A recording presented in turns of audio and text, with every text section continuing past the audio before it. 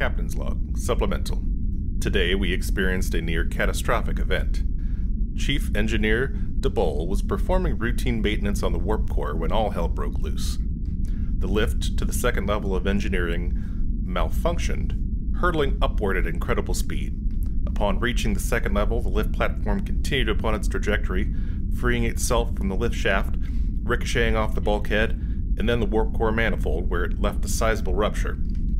Luckily, the chief engineer acted quickly and was able to seal the rupture before we had to eject the entire warp core. After some questioning of his team, Chief Engineer DeBoll discovered that our new transfer from the USS Resilience, crewman Bernicki, had made some modifications to the lift after lamenting that it was too slow and that he, and I quote, looked lame slowly ascending to the upper level. The entire engineering team has been given extra maintenance shifts to ensure that no more modifications have slipped our notice. When I inquired about Bernicki's service record on his previous ship, the only response I received from Captain Hollings of the Resilience were the words, Finally got you back. It seems that someone has held on to a grudge since our academy days.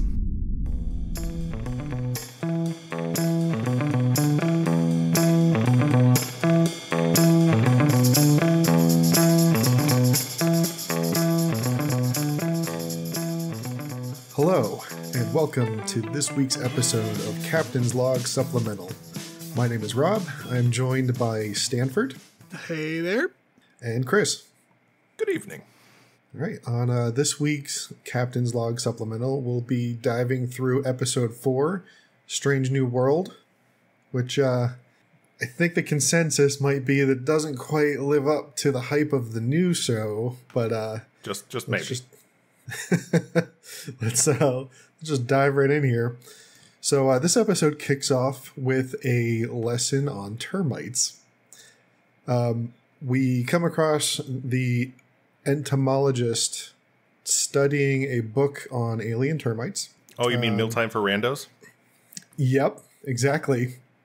Uh, eating some, I guess, really bland Vulcan soup or something. I don't know really what that was. Um, when, surprise, surprise, they realize they've deviated from their flight plan and wound up in orbit around the planet. Um, Archer decides that the planet looks unclaimed, so Giddy Archer decides to set down and explore. Uh, T'Pol brings up the entirely reasonable protocols that should be observed, like getting probes down to the surface to get a sense of safety and biocompatibility of the planet, which immediately. Sorry, go ahead. Uh, yeah, my notes here just say once again, T'Pol seems very reasonable. Right. Yeah, totally uh, reasonable. Uh, meanwhile, the entire bridge crew laughs at her like a bunch of assholes. yeah, So it's not even it's not even laughing though, because Giddy Archer turns into pre-Rage Archer, who hmm. then quickly resorts to the defense mechanism of patronizing Archer, and then punches down to stick it to one of his own subordinates. Sure. I, the other thing that I, I caught here that I thought was interesting is that we we learn where the, the term M class planet comes from. Minshara class. The Yeah. M is for Minshara. yeah. I heard that, and it was one of those things where my my brain pinged because I'm like, "Mm, I'm pretty sure M class has been used way before this, but I can't like. I used to play a game called Anacreon, and it had class class like planet classes, but did did did the original series use the term M class? It probably did. Rob would probably know that better. Rob. To be honest, I I don't remember. All right, I'm a, I'm a, I'm a go I'm a go uh, memory alpha this. You go ahead. All right. So, uh, cue some faith of the heart. We we then cut to the uh, landing crew setting down on the planet, completely just throwing aside any concerns that T'Pol might have had about the situation. Uh, landing crew brings the dog with them because, of course, they do. Oh, by the way, on on this landing, what is up with the dumb baseball caps? What was that about? Oh, I like the Is that like a baseball Navy thing? caps. It, it is actually. Um, uh, it, it is kind of a navy thing. It's funny because it reminded Okay. me, um, in in a weird way of like seaQuest, which is like that old Roy Scheider Oh show. yeah, I remember that one. But like where, they, but like whenever they were off the boat, they had their fucking baseball caps on. Like, oh no, I like I like the baseball caps. So like I, saw it and immediately thought of Periscope down. I'm pretty sure we don't see them ever again in the entire series.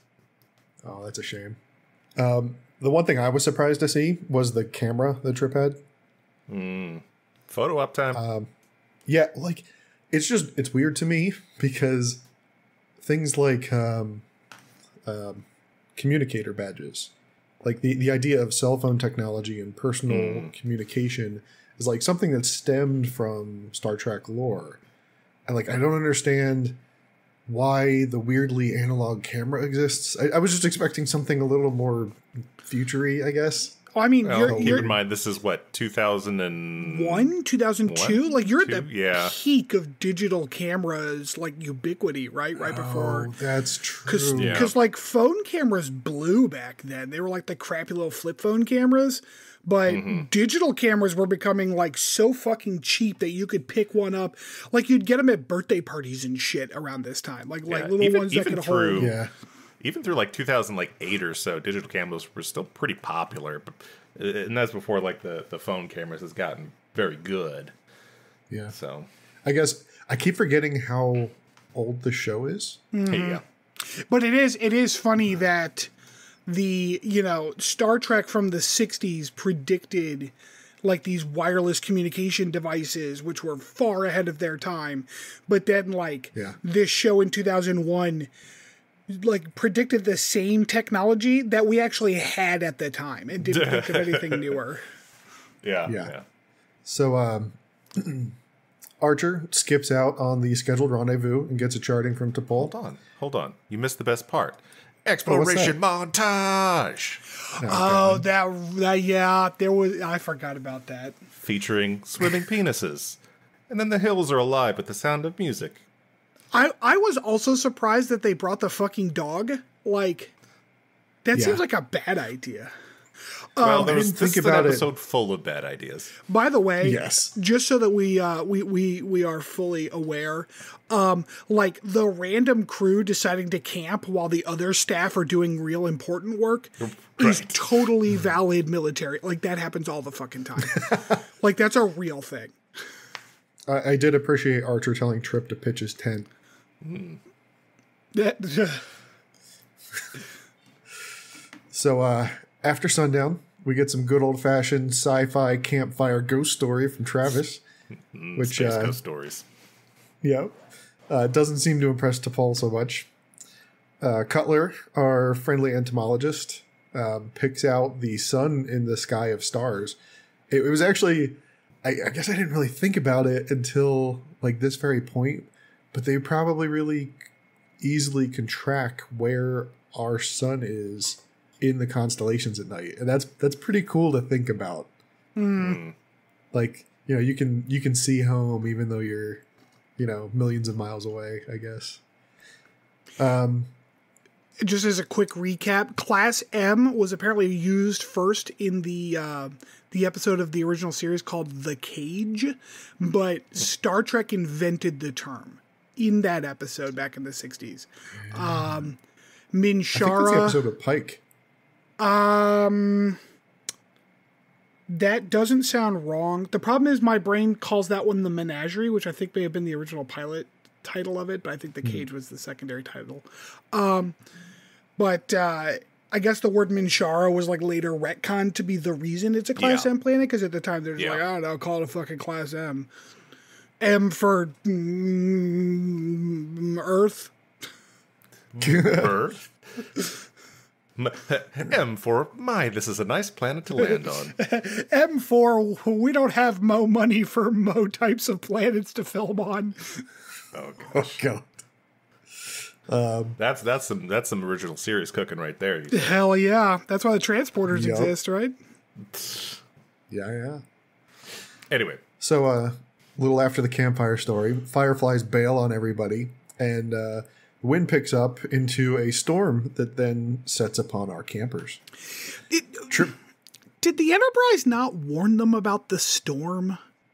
you would think Like, Like, it's one of those things that should have been very, very obvious from orbit.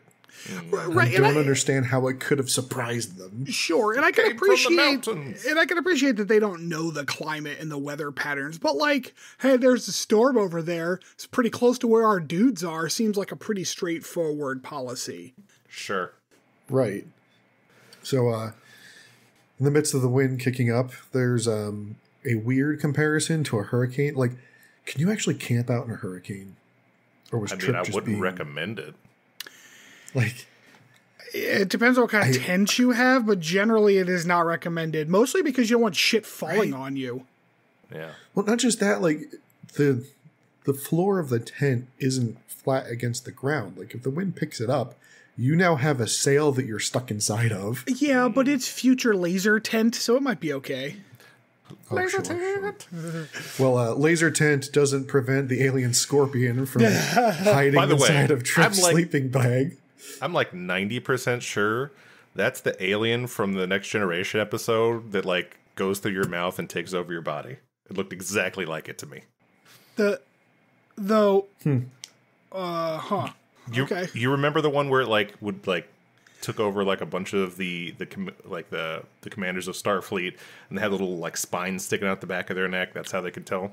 Yeah, yeah, no, I remember what you're talking about, but I don't remember the precise graphics used. It did not Oh, yeah. look unsimilar to the one used in um, by Khan in the second Star Trek movie. Khan. It looked like a That's weird ass thought of. earwig. Yeah. Yeah. mhm. Yeah. So, uh, oh, Wait, do we place. think that was the scorpion real? No. Okay, Trip was just hallucinating that. It's it's my opinion that, that they they had that that was the beginning of their Sure. Okay. Hallucinations. Oh, you know, he does suggest shooting hallucinations a lot in this episode. I, I I'm So gonna that I'm might gonna be true. I'm going to go ahead and submit that out of all of the Star Trek we've seen so far, um, Trip's acting about that fucking scorpion is the most real acting I have seen. that man, that man it has, was. that man sold that shit. it was pretty good. Um, So, Trip, in desperation, suggests to T'Pol that they head to the cave network that they had found locally, conveniently, earlier on during their uh, their expedition across the countryside. Way team makes their way to the caves and realizes when they get there that they forgot the food packs. Which, uh, how is that the one thing you forget? Travis volunteers to go grab them. This team, they're not a bunch of winners on the first go around. Let's just say that. No, it's a crack, I- crack squad here. Oh god, it, it feels like they make all of the first mistakes on Starfleet's checklist of first mistakes to make. You got somebody's got to make them. That's how the rulebook got written. They just they just went through the Enterprise logs and said that everything they did was not allowed. It's just it's wild. So uh Travis runs to go and grab the food packs they left behind.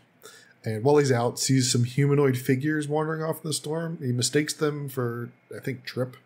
Um, gets back, starts warning everybody that there might be strangers out and about after he's told that no one else was actually out there. Stranger And then danger. Ethan starts hearing voices from deeper in the cave and then decides to book it off into the night, into the storm, like you do. Sure. Trip and Travis go to collect him, while T'Pol goes to investigate the back of the cave. So, this is the point where Trip gets a better look at what he thinks are their new neighbors. Uh, he spots one of them morphing out of a rock, like they're using some sort of camouflage. Would you say he was tripping balls? I I would, I I would say that yes. Okay. I, I mean, I was having trouble telling what was real at this point because the computer generated graphics were just unbelievable. Do you remember Just Chex Quest? Super great. Yeah. yes, yeah, yeah, yeah. This The, is the like, uh, Doom mod. Yeah, this is like Chex Quest level CGI at this point. Yeah, early early two thousands. So uh, Travis mentions that the camouflage might be why they don't show up in the scanners, but if that's true, either I don't know how camouflage works, or the Enterprise and the crew are equipped with the universe's worst scanners. I, I think he said that because they were he was coming out of the rock that their quote unquote camouflage was that they were literally inside the rock, and that's why the scanners. Oh, like they were rock people. Yeah, or or in some way, shape, or form, phasing into the rock or whatever. Like that. That is what I gathered was his point. Because later, that, that because makes a later, little more sense. T'Pol says like, "I scanned all the rocks. It's just limestone. What do you? What do you? There's no creatures here." Right. Do, do you think the rock person's name was Roxanne? I think it was Pierre. Hmm, French, okay. So, uh, entomologist Cutler claims to see T'Pol talking to one of these new life forms, but uh, T'Pol won't admit it when she's confronted. Ethan tells Archer to F off after he tries to hail them after blatantly ignoring his crew's recommendations not to fly into the gale force winds, and in the process, busts a thruster off the lander and has to bail on the rescue operation. They do love scraping paint off those shuttle pods. They really do. Um, Trip loses faith in T'Pol, throws a little mutiny, and uh, Archer decides to try to beam Ethan up using the transporter. They find out Ethan has some sort of foreign contaminants because the local flora has started infecting him from the looks of it. It was really creepy. Um, oh, he got beamed up with a bunch of rocks and shit that were just kind of in the air around Which- him too. By the way, why, why like in like they his were- skin? Why just in his Yeah. skin? Why wouldn't Like, it I- be like in the rest of him? I don't know. Like, was it supposed to be that the wind had slammed it in, or was it that the planet was infecting him? No, I No, think no, no, the, no. the idea was that that they were getting interference from the storm, I guess, with like too much debris around him, and so the, Oh. the teleporter oh. like rephased him with the rocks and twigs. Did and its crap in best. Okay. Yeah. I, I misunderstood that. Oh, that sounds awful. So I I don't know how teleporters work, but if I had to provide a benefit of the doubt best guess answer as to why it was only in his skin, I assume there's some kind of AI reconstructing these people and maybe there's like some sort of understanding as to where his quote unquote edges are. And so that's where it's having trouble discerning between him and other objects, and so it just started beaming everything together, and So therefore you're it would he be wasn't yeah he wasn't the, edgy enough? the computer didn't edge him properly, right? Because like, because like, so in the best like modern example I can think of is if you if you're using the uh, like the, the the the smart select in Photoshop or whatever, like the interior of your image is going to look fine, even if the outside looks all shitty because you have it set wrong or because it's too busy or whatever. Or transporters don't color inside the lines. Is that what we're saying? Exactly. So at this point, Trip completely loses it and goes full anti-Vulcan conspiracy theorist on T'Pol. Uh, we then cut back to Dr. Phlox, who discovers Ethan's hysteria was due to some psychoactive compounds found in his blood from the planet. And uh, Archer then has to talk Trip down from shooting T'Pol in cold blood. And this is the point in my notes where I've got Travis starts tripping balls. I really missed that joke with Trip earlier, Chris. Thank you for that. I'm telling you, man. Yep. So uh, Trip and T'Pol wind up in a standoff where it is Phlox figures out that the compound is emitting stray neutrons that are frying Ethan from the inside, which, ow. Sure. Uh, T'Pol is worried that Trip is going to kill her and passes that along by speaking Vulcan to Hoshi. so hold on a sec. Okay. So when Phlox is going over the after they go back to Ethan and he's like, "Oh, he might be dying," Archer gets very cranky about Phlox for some reason. When, Yeah. if we're being honest here, it's his dumbass decisions that have led to the bad consequences that have happened. Oh, yeah. If we have learned one thing so far in the series, it's that Archer's really good at projection. Hmm. Um, so he really is. so- he is. He is the American captain for sure. like given this whole situation i don't understand why at this point with everything happening and you know given you know some minor uh, issues with getting ethan on board why didn't they just use the teleporter to get the rest of them off the planet Shut up. That's why. Because plot reasons. transporter not teleporter This is the same reason the transporter isn't used to solve virtually all problems in Star Trek. Is you know we got to have a show. Sure, that's fair. It, it could solve a lot of problems. Strange New Worlds was like, yeah, we could just solve anything with a fucking transporter. yeah. This is beam medicine right into his body.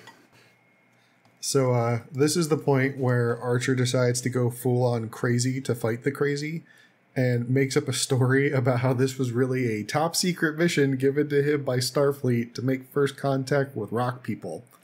Um, I, I want to be very clear with my limited knowledge of psychology. I, I don't I don't think that's gonna work. Like a delusion is a delusion. Playing into the delusion is just going to make the person make up something crazier. That's what a delusion is. Right? Yeah, but at the same time, with like with Alzheimer's patients, I mean, dementia clearly is not the same sort of psychological phenomenon. But the one thing that you're told when you're taking care of an Alzheimer's patient is uh, it's not to play along with it, but you're not supposed to tell them that they're wrong because it causes distress for them. Sure, but like that's also so that you can make sure that they get back and eat applesauce properly, not so that they don't shoot a crewmate in the face. Also true. Both valid points. So, uh, in the midst of this, Archer does con- uh, convince Trip to put the gun down. Uh, at which point, T'Pol just straight up stuns Trip and uh, gives everybody their inoculations. I feel like inoculation was the wrong term for the show to use here. Like this isn't like a virus; it's a it's a toxin for sure. Antipsychotics? Maybe I don't know. Well, it's not a vaccine. Doesn't inoculation just mean a medicine that prevents something?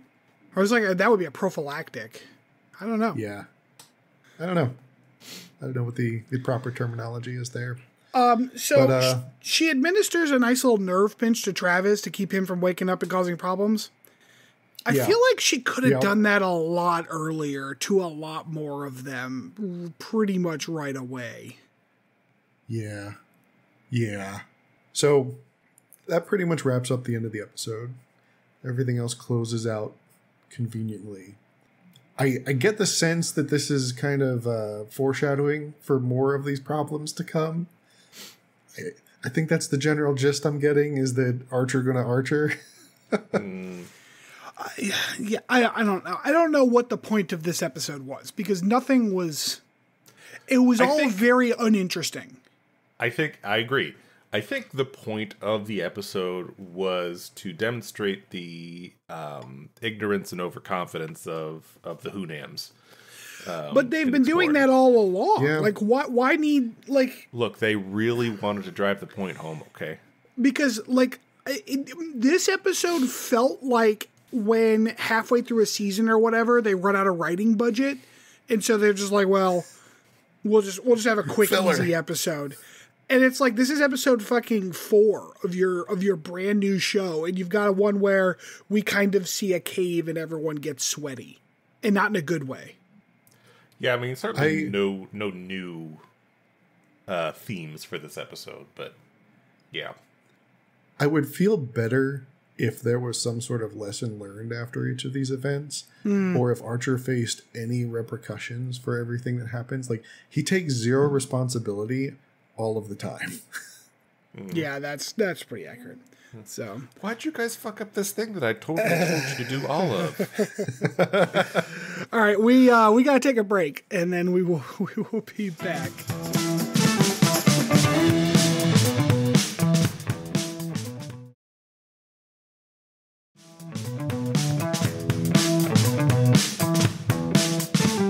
All right, welcome back, everybody.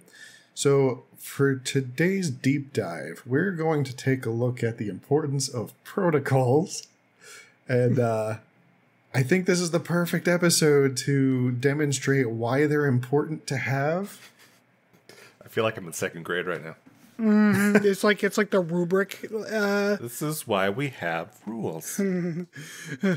yeah, yeah. Because I took the gum off the teacher's desk, everyone loses the pizza party. exactly. So, like, I, I get that. I get that the, this is like the first time that humans are really setting out into deep space and running their own exploration show, right? But everything we've seen so far and everything that the show seems to hint at is that um, Starfleet is very inspired by the Navy uh, and by the military in general, right? So I don't understand why they didn't. Like, they even talk about how, you know, Trip ran through a series of exercises with Archer on Titan in this episode. Like, they've clearly been drilled. They understand what they're supposed to be doing. And, and like, when T'Pol was, you know, recommending that they at least survey the planet before they set down on it, like I don't understand how that's just not basic operating procedure. Yeah, man, but they're they're out of the house now, bro. They're free and clear. All they got is that lousy babysitter T'Pol, just keeping an eye on them. They can do what You're- they want, man. and, and and you know it's funny because I think like as as as as sarcastic as you're being there, I think I think some of it is that there's this level of like this. I don't know if it's it's just like lip service or or just straight up like bowing to the idea that like well out on the frontier the captain is the only one who matters. Like it doesn't matter what those stuffy rule books say. The captain is the one who has to make all the decisions and he- it's it's his way and that's it. You know the idea that the captain is the king of the ship. I am the captain now. a line oh like, i only I guess know that's from it. memes Like we're we're four episodes deep at this point, and Archer's just shown that he only makes bad decisions.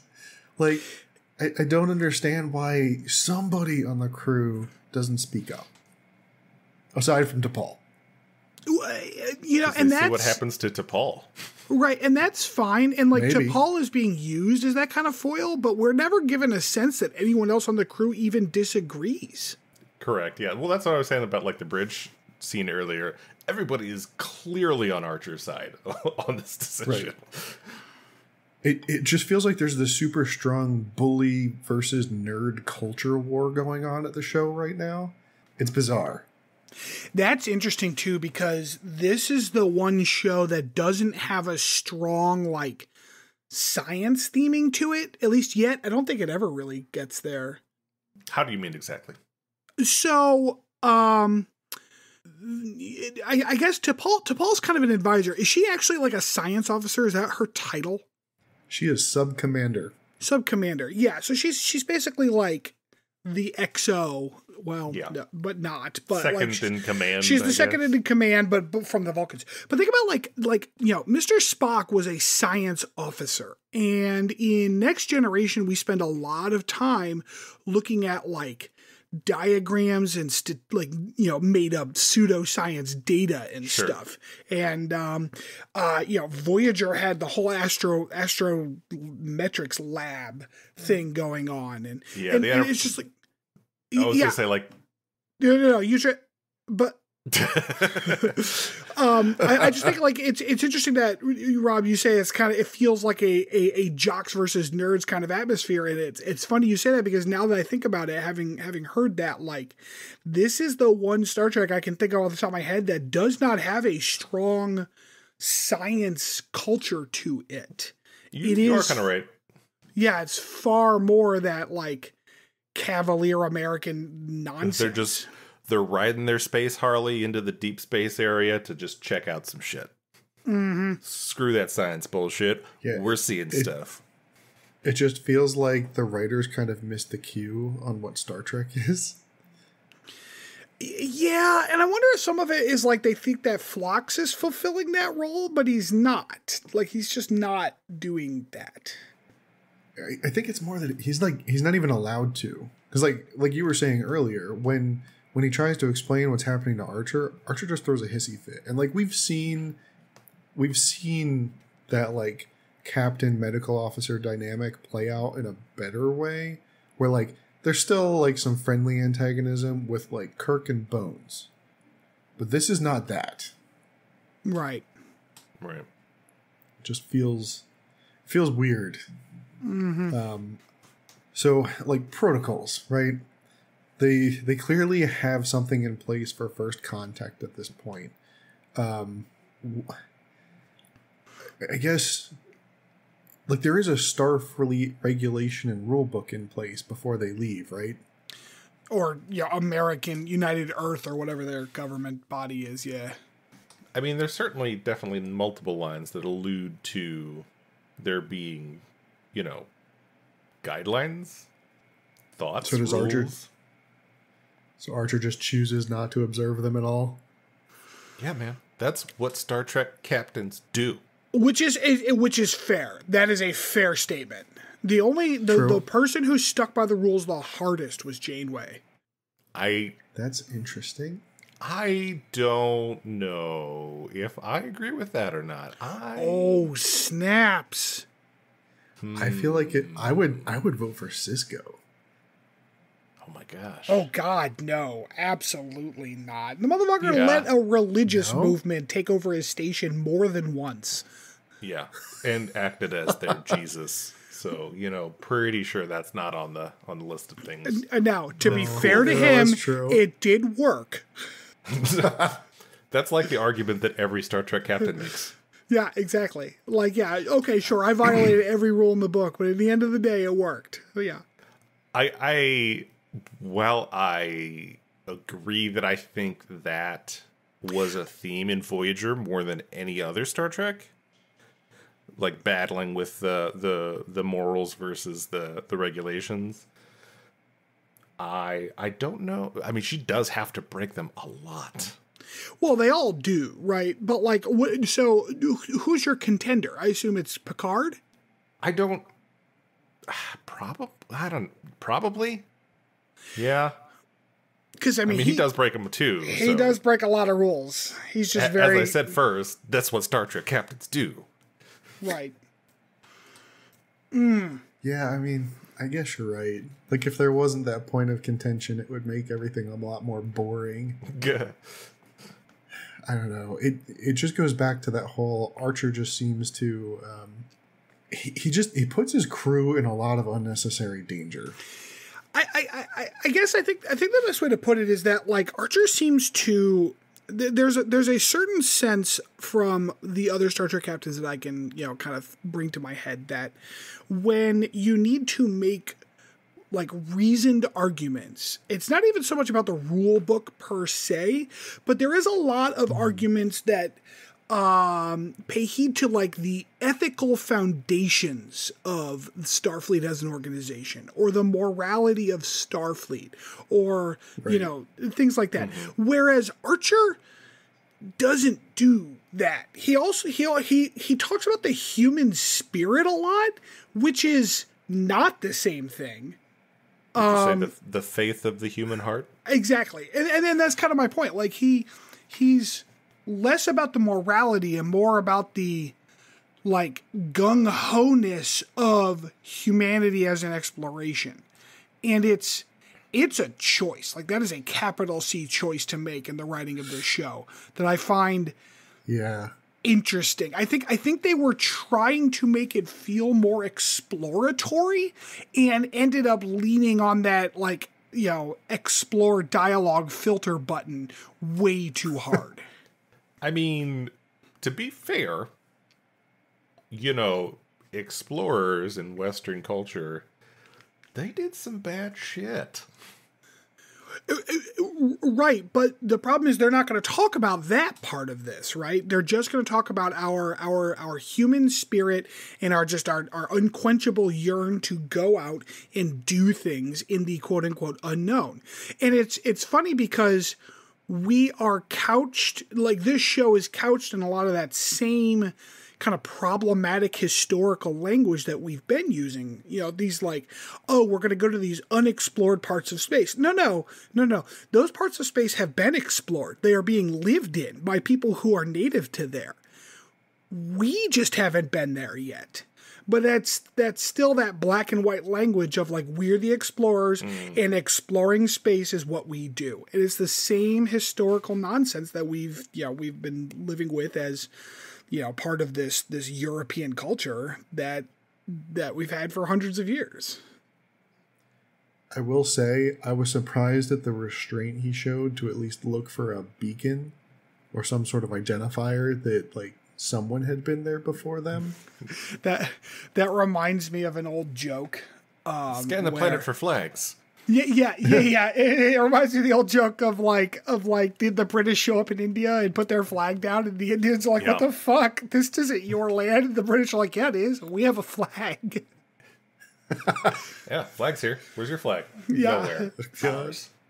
Like I, I appreciate that there is absolutely no concept in Archer's mind as to ownership unless it A has actual people that they see on it, or B someone has broadcasted in a language that he can understand. I mean that metaphorically, that that it is owned. Otherwise it's fair mm-hmm. game. And and as it, it's a level of hubris that like is unsurprising. But humanity is not old to the stars. We're brand new at this. Everyone we've met has been doing this longer than us. And he's going to act like here's a planet that clearly no one's ever been on ever because it doesn't have a flag. Yeah, it just feels like the bad kind of nationalism, right. But like substitute humans as a whole. Right. And so i think that that ethos kind of kind of manifests in this idea that like and again it, it kind of combines with the the fact that like a captain at sea is the king of his domain right? Like mm-hmm. we don't hear about the rules and regulations because the show He's just making them up. right. Like there's just no heedens paid toward like an overarching organization. And the only time they ever really talk about it is when they complain about T'Pol.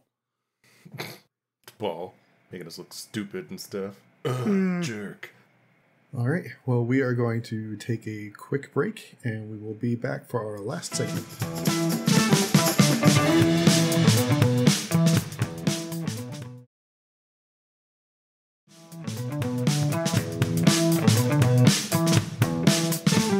All right. Welcome back, everybody. Uh, to take us away with section three will be Stanford this week.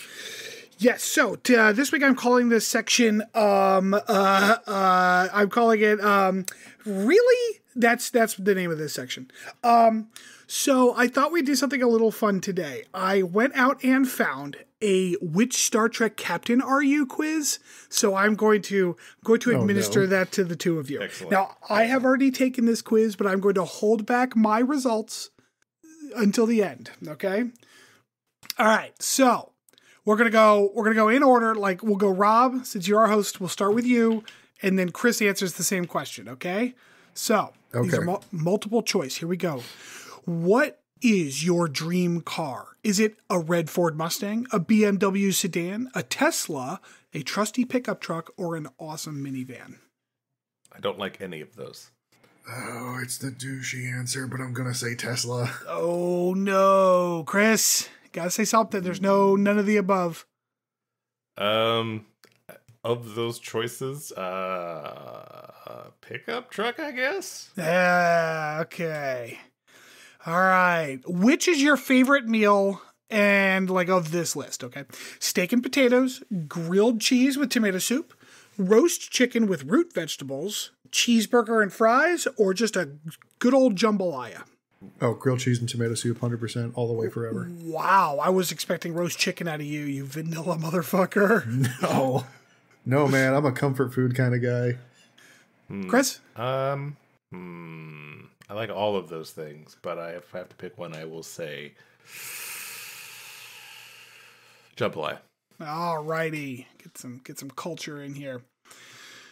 All right. Uh, what did you study in college? Now, if you did not go to college, Chris, or if you d- or at least went to college. I, I guess like uh, that's true. Rude. It's two, Rude. two, and this will apply, I think, to both of you, if I remember correctly.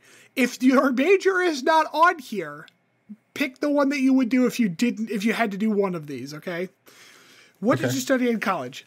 Uh, theater, physics, political science, anthropology, or kinesiology? Oof. Um, Because you're you're both computer people, right? In college. yeah. Yeah. Yeah. Information, Information science, technology. sciences. Weird. Yep, uh, both went for the weird that thing. poli sci was on here. Oops. Um, I would I would say of those options, I would pick physics.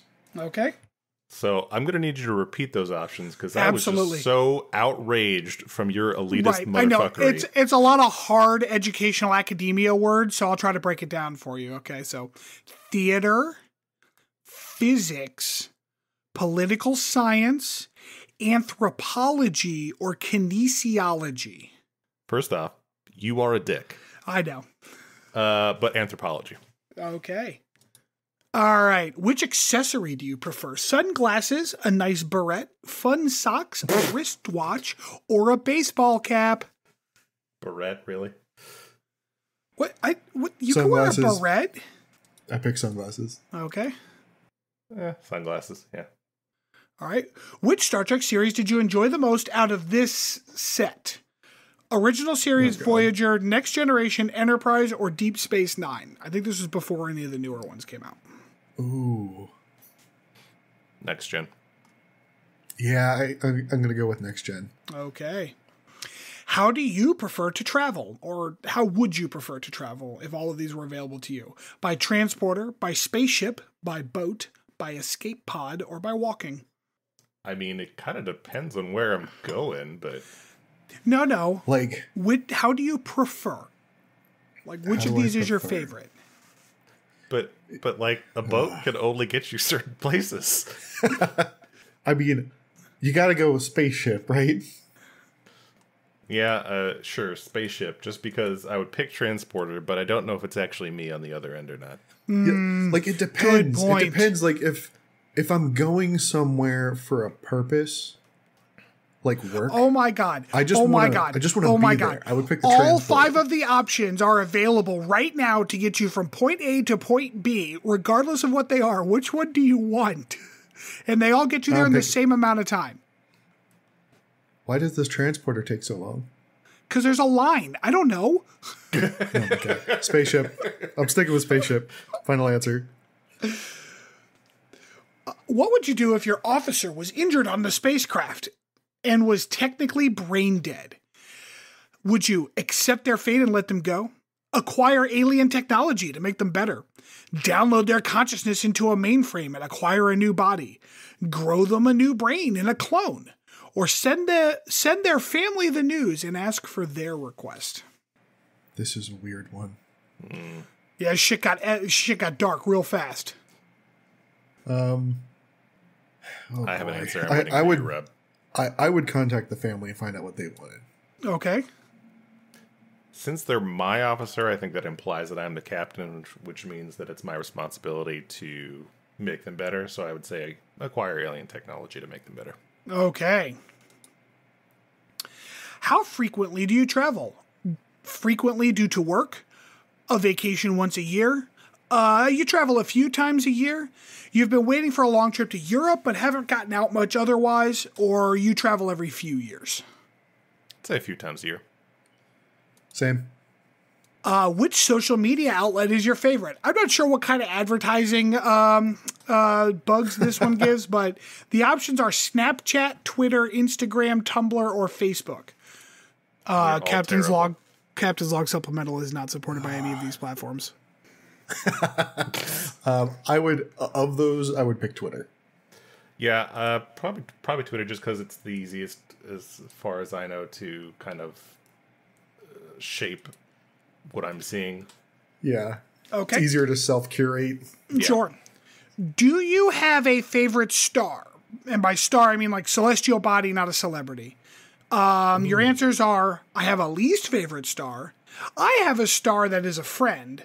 I try not to discriminate between the stars. Sirius or the sun. Vega's not an option. Nope. Alpha Centauri, come on, ah. I would pick Sirius then. the sun, because you know, I mean, it's close.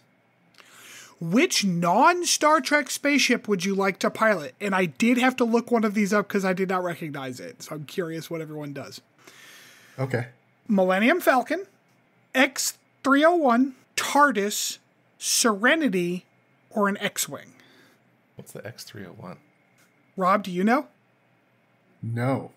That is the Goa'uld fighters from Stargate SG 1.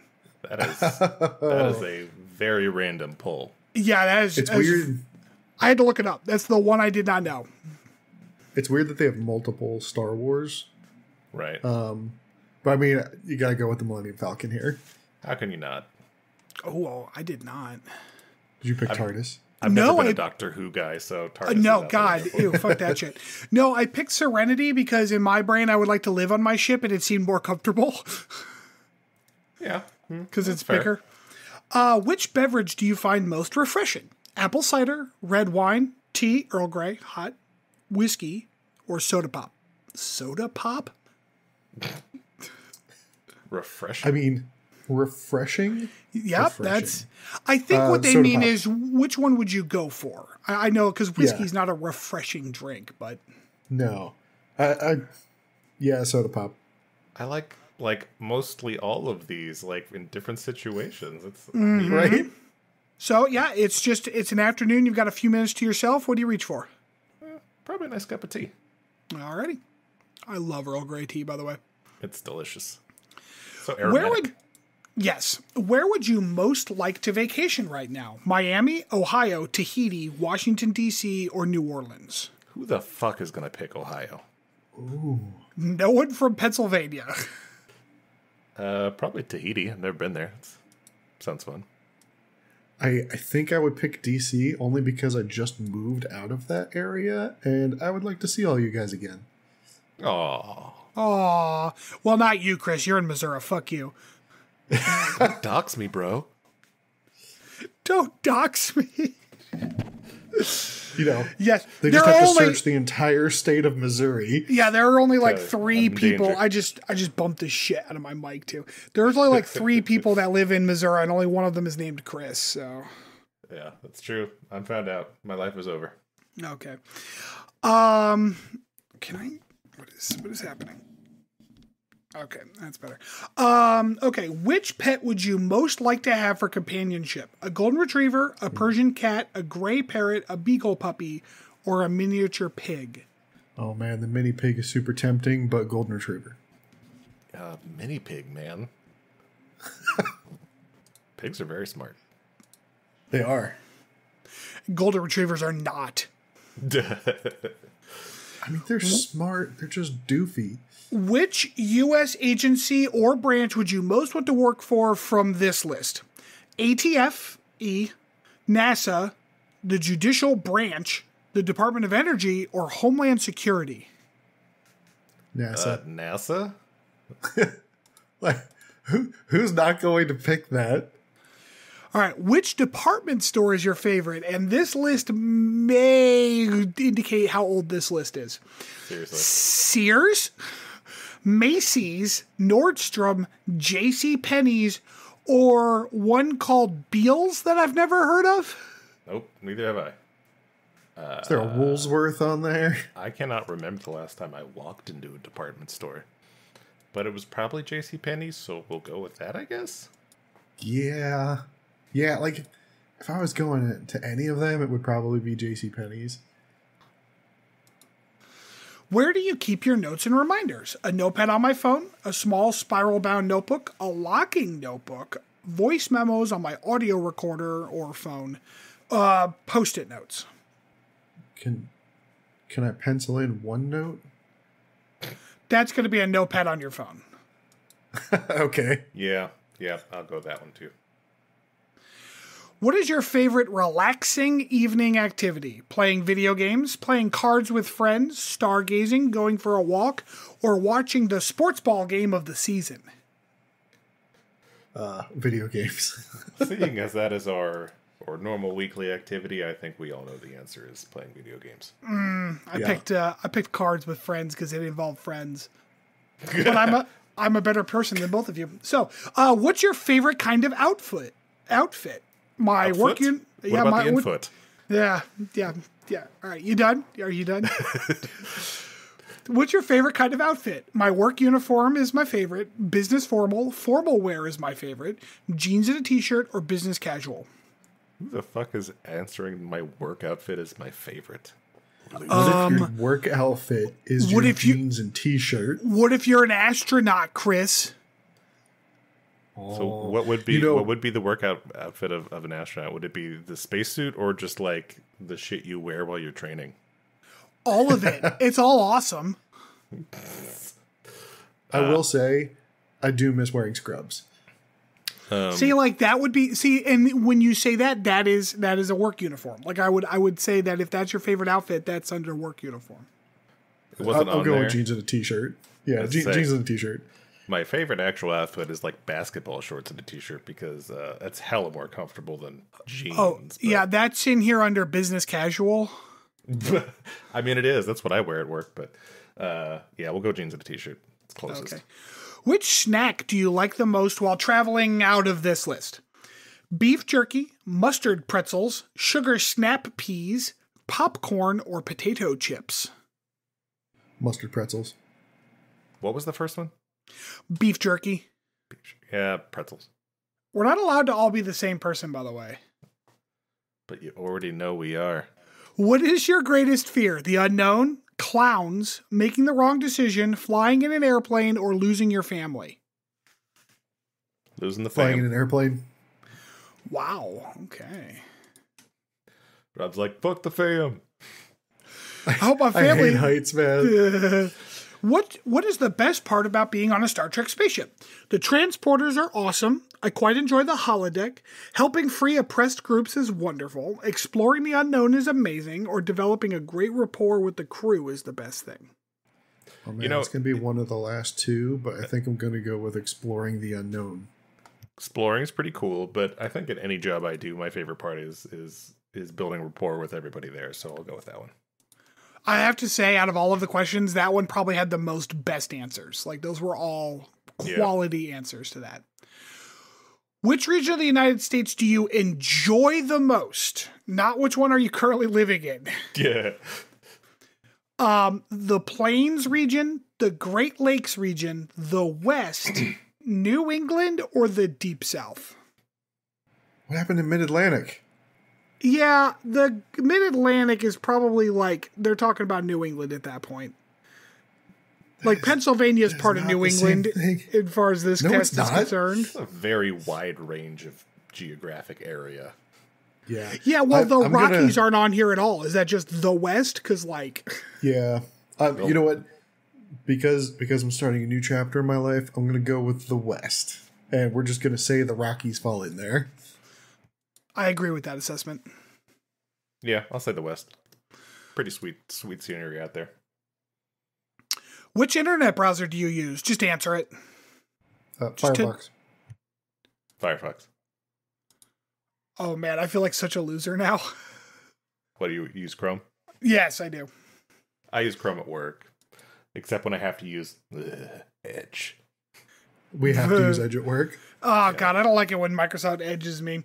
What is your favorite exercise activity? Running, swimming, tai chi, tennis, or baseball? Oh, baseball. Yeah, Hell yeah. baseball. Not that I get to play it that much, but it is fun. No. What would you do if your ship were stranded across time and space? I'd start a new life after realizing that returning is futile. I'd cause a rift in time and space to get my alternate timeline self to help my crew return. It's kind of a fighting fire with fire situation. I'd rely on our allies in space to help us return. I'd talk to every ship I could find um, to find the technology to send us back. Or honestly, I'm not sure my shipmates and I would even notice. Wow. Um, what were options one and four again? Jesus, one in four? um, Yeah. I'd start a new life after realizing that returning is futile, or I'd talk to every ship I could to find the technology to send us back. Yeah, I'd probably do that last one. Yeah. Same. Honestly, I'm not sure my shipmates would even notice. No, the the, the last one you said before. Yeah. option four. four. How do you get around large cities? Driving, taxis, Uber, bus system, subway system. I mean, the best way is Subway. That's not the question. How do you do it? To be honest, I don't spend a whole lot of time in large cities, but when I have, it's at least recently it's been Uber. I would I would always opt for Subway if there's a Subway. So I'm gonna Okay. pick Subway. Which military service would you prefer to join out of the ones available? I am a little butthurt about this list, but we will continue. Army, Navy, Oh, I. Space Force, Air Force, Coast Guard.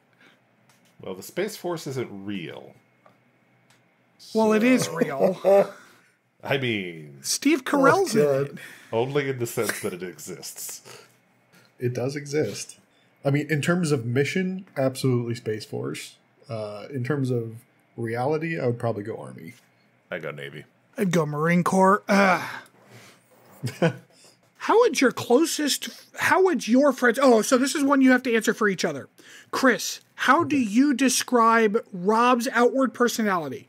Outgoing, competent, brooding, proud, or tense? Competent? And Rob, same question to you about Chris. Outgoing. Was that outgoing?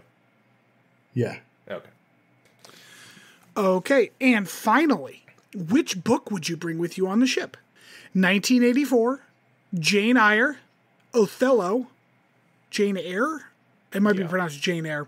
Othello, Frankenstein, I assume the original by Mary Wollstonecraft Shelley, or To Kill a Mockingbird. Frankenstein. Is this like ninth grade English? Where did they come up with this? Yeah, out of all of them, Frankenstein.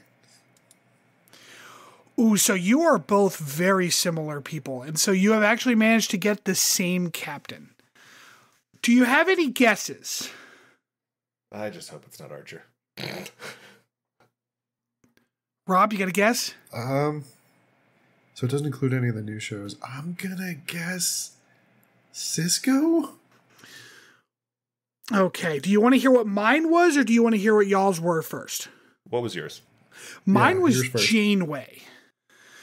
Due to your analytical personality, because I guess that's what it determined, you are most like Kathryn Janeway. Captain Kathryn Janeway had the mind of a scientist. She was always looking at every possibility and skeptic and skeptical of every situation. English here is not super great. She was also very brave and extraordinarily ethical, always worrying about the consequences of her actions. These attributes, attributes made her a great captain through very trying times, and these similarities in personality will serve me well in life. You know what? I changed my mind. I think we're Kirk. Yeah. Yeah. Yeah, all I right. think so. No, y'all both got fucking Jonathan Archer. Oh, God damn. God damn it! Due to your drive to succeed, you are most like Captain Archer. The first captain of Starfleet, Captain Archer, Jonathan Archer was the first human to explore outer space. Wait. as well as the first to make contact with many alien species. He was driven his whole life to explore space, and when he was finally able to do so, he let nothing stop him. Determined to prove that humans had a place in space, Archer always completed his missions, took care of his crew. Like Captain Archer, don't give up on your goals. Most importantly, have faith of the heart. Faith of the heart. All right. So that'll wrap us for this week. Uh, next week we will do episode five of Enterprise. Um, I assume we're doing round robin, so I think Chris is going to be in charge of that one. Um, I think my plan is to once we have a few of these in the can, is to get the socials and shit set up, and I will will record like a like a canned boilerplate socials thing for the end of this. So you'll hear about those in a second. Uh, all right. Well, good night, everybody. We will see you next week.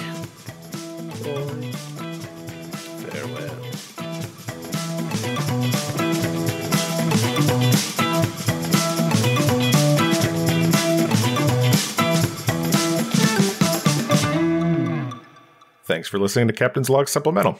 You can follow us on Twitter at PodCLS or send us hate mail at podcls3 at gmail.com.